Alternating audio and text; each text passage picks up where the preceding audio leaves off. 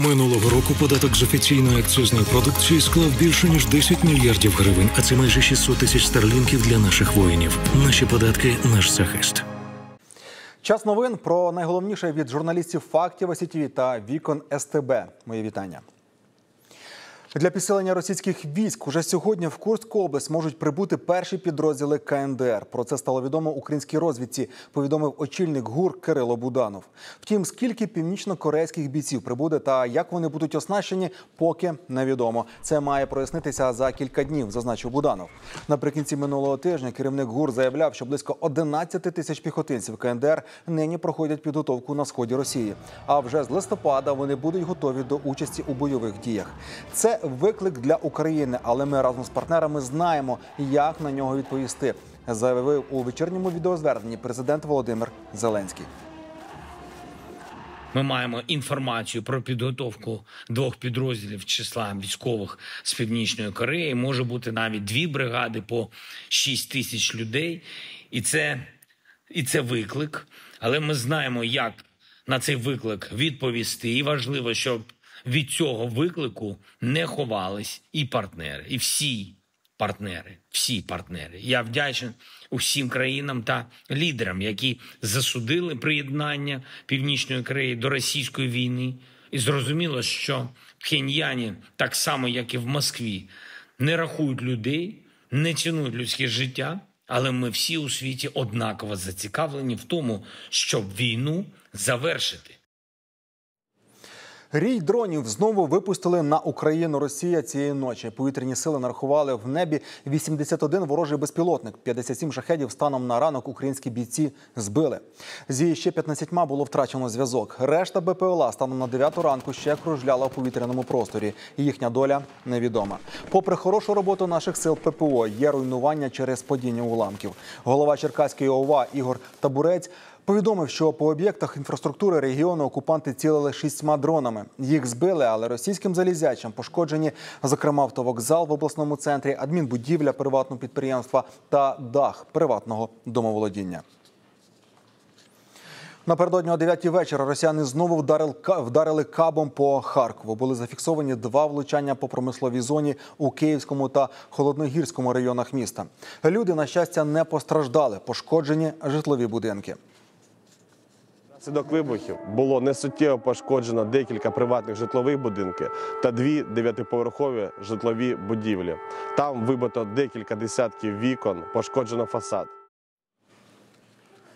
У прифронтових та прикордонних населених пунктах області за минулу добу росіяни вбили двох та поранили п'ятьох цивільних. Один чоловік загинув у селі Кругляківка Купінського району. Інший дістав смертельні поранення внаслідок влучання дрона в селі Кучерівка. Троє поранених у селі Лісне. Ще одна травмована жінка у Куп'янську. І далі продовжує потерпати від ворожого вогню Сумщина. Вночі та зранку росіяни здійснили шість обстрілів прикордонних територій та населених пунктів області. Зокрема, по Охтирській, Хотінській та Юнаківській громадах запустили керовані авіабомби. А Путивлівський ворог бив з артилерії. Загалом зафіксовано 17 вибухів. Крім того, у небі над Сумщиною підрозділи ППО збили 19 ворожих безпілотників типу шахет. Напередодні вночі нагадаю, ворог завдав удару з безпілотника по самим сумах. Унаслідок цієї атаки загинула 14-річна дівчинка, її мама та тітка. Вижив лише батько. Він зазнав поранення. Сьогодні та завтра у місті оголошена дні жалоби. Опівночі росіяни атакували з артилерії центральний район Херсона. Під ворожим ударом вкотре були житлові будинки. В оселях потрощено стіни і дахи, повибивало шибки та двері. Пошкоджений газогін. Контузію та гостру реакцію на стрес дістав літній херсонець. Чоловік спав удома, коли у його двір прилетів снаряд. Говорил, тошнило ему с утра. И давление высокое было. Дедушке, э, значит, контузило его, оглох На левое ухо, потому что он лежал как раз вот тут, на этой кровати. Вот. И когда прошло взрыв, вот, вот осколки. Ще троє людей постраждали внаслідок російських обстрілів Херсонщини минулої доби. Вчора зранку загарбники скинули вибухівку з дрона на будинок в Антонівці. До лікарні з уламковими пораненнями ноги та вогнепальними ранами тулуба забрали літню господиню. Згодом росіяни атакували з безпілотника зупинку громадського транспорту вже в самому Херсоні. Поранена 54-річна жінка. Ще один херсонець теж травмований внаслідок скиду вже по обіді. Загалом у області пошкоджені щонайменше 24 приватні будинки, три багатоповерхівки, фельдшерський пункт, автомобілі та дві ділянки газопроводу. На Донеччині російський кап зруйнував дім і обірвав життя двох людей в селі Олександро Калинове. Загиблі старенька мати та її 55-річна донька. Літній батько та ще одна жінка з мінно-вибуховими та осколковими пораненнями в лікарні повідомляють у прокуратурі області. По селу уточнюють, загарбники вдарили близько пів на одинадцяту вечора. Попередньо застосували КАП 250 Він влучив у дім. Сусідні пошкодили ударною хвилею. Також понівечений газогін. Загалом, за даними місцевої влади, за добу в області загинули четверо цивільних і семеро людей поранені. Окрім села Олександру Калинове, відомо про загиблих в Різніківці та Мирнограді. В останньому зі згаданих населених пунктів є ще й троє постраждалих. Крім того, поранені в Плещіївці та Лимані. Перелили 7 літрів крові та зберегли ногу. В одному з медзакладів Дніпра врятували тяжко пораненого бійця, який потрапив під удар російського ФПВ-дрона. 24-річний Антон з Миколаєва пішов до війська добровольцем. На початку жовтня, як вивіз хлопців з позиції і повертався назад, дістав тяжкі ураження лівої руки та правої ноги.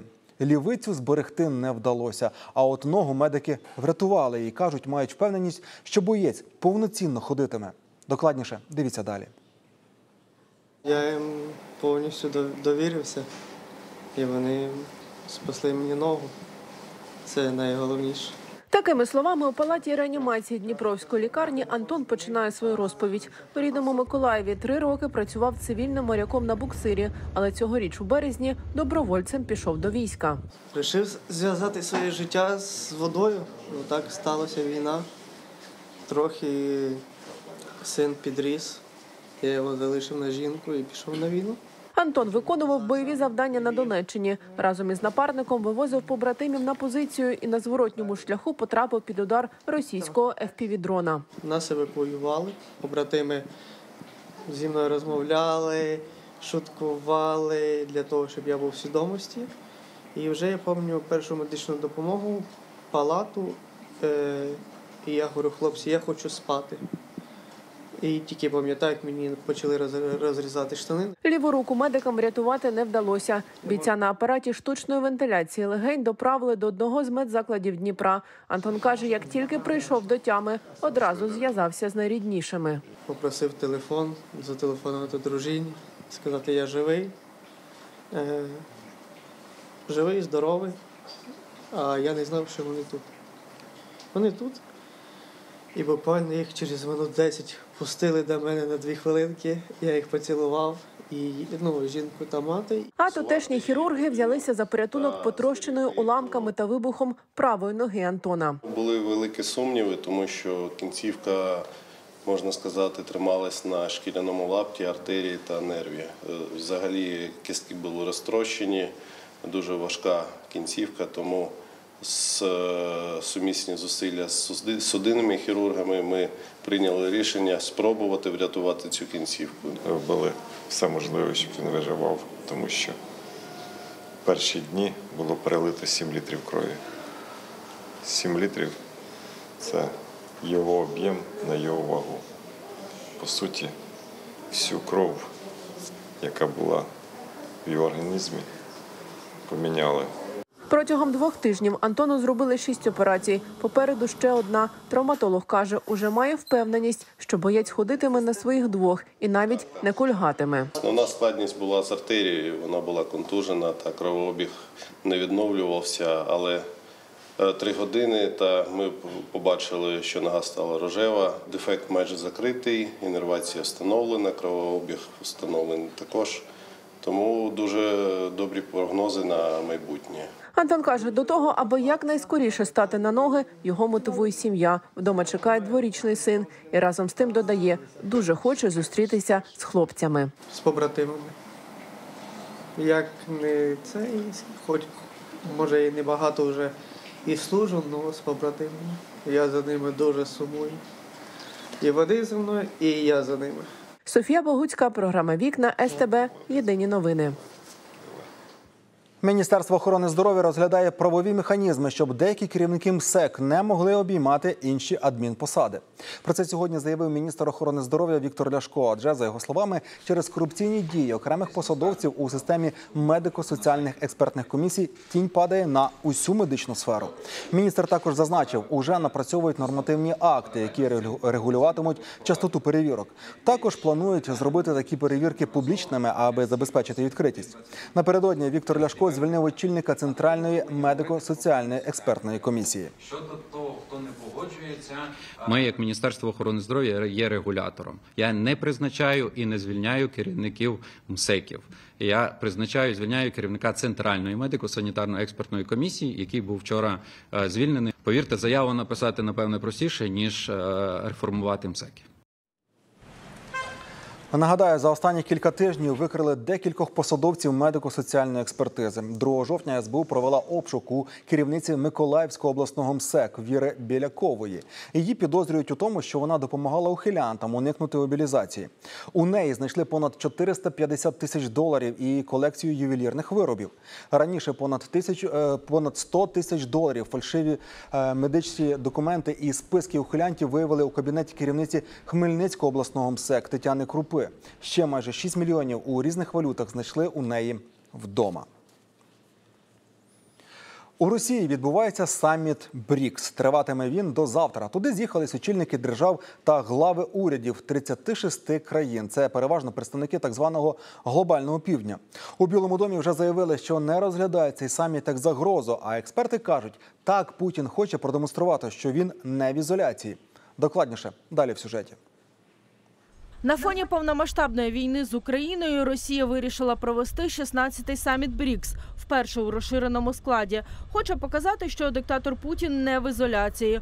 Участь підтвердили 33 держави, але не всі вирішили відправити лідерів країн. В останній момент передумав їхати на саміт президент Бразилії Лула да Сільва. Мовляв, після нещодавної травми голови лікарі йому заборонили літати за станом здоров'я, тому візьме участь у саміті по відеозв'язку.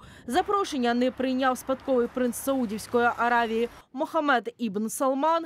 Відмовився і лідер Сербії Олександр Вучич, якого в Москві вважають своїм другом. Він зустрічатиметься з прем'єром Польщі. А на саміт послав віце-прем'єра. Вірменія слідом за Казахстаном повідомило, що немає намірів ставати членом БРІКС. Зате неочікувано на саміт приїхав генсек ООН Антоніо Гутеріш.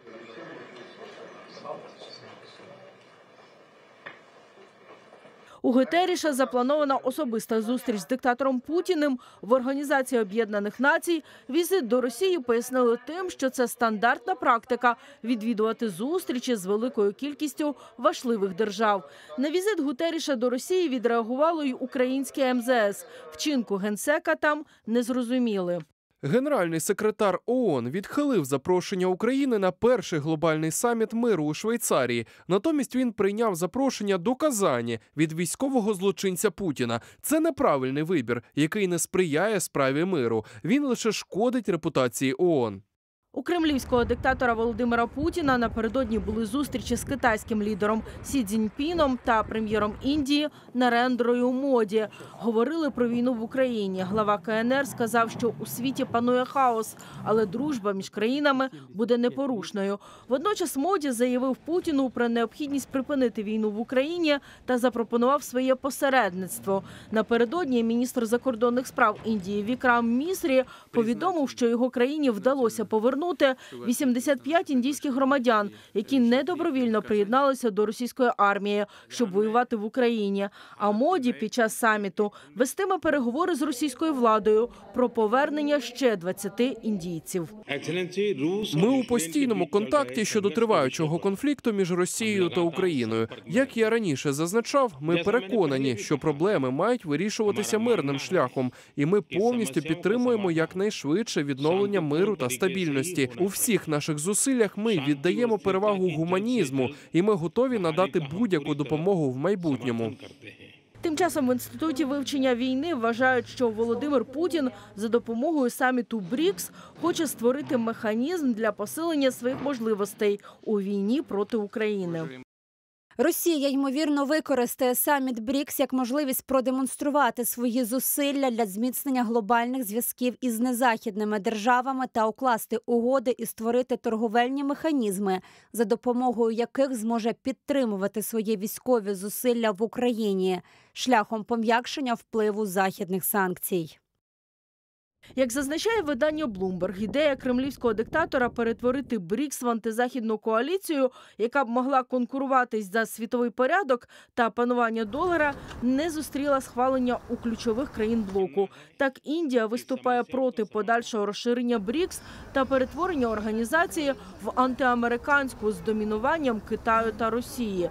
Пекін, який після повномасштабного вторгнення в Україну став найбільшим торговим партнером Росії, вважає занадто амбітною ідею Путіна робити платежі в обхід долара. Не хочуть протиставляти себе заходу і в Об'єднаних Арабських Еміратах. Ярослава Марущенко, програма Вікна СТБ Марафон. Єдині новини.